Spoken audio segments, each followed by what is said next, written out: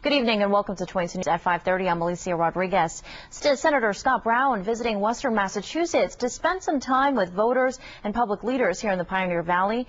22 News reporter Shane Simolen joins us live in Springfield to tell us about Senator Brown's visit to the city earlier today.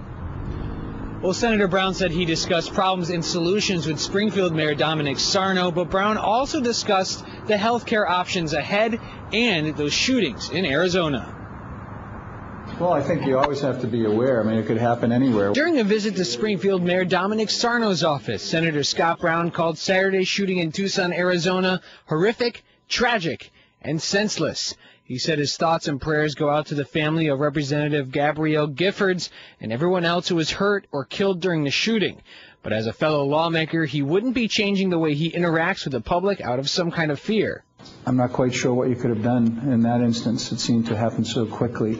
Um, and I encourage each state to look at their own individual uh, gun laws and uh, safety procedures.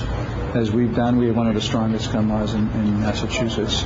But during his visit to Springfield City Hall, Senator Scott Brown said that the main focus of many lawmakers now is health care and that he would vote to repeal last year's overhaul law. Brown says he may not ever see that vote, though. The House of Representatives is planning on the vote, though it has been delayed after the incident in Tucson.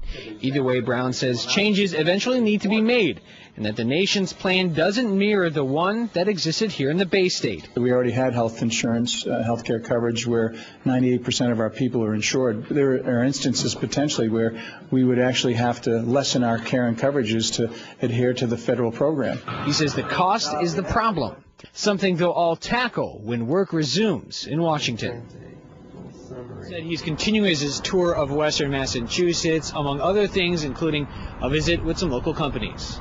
Live in Springfield, Shane Simolen, 22 News.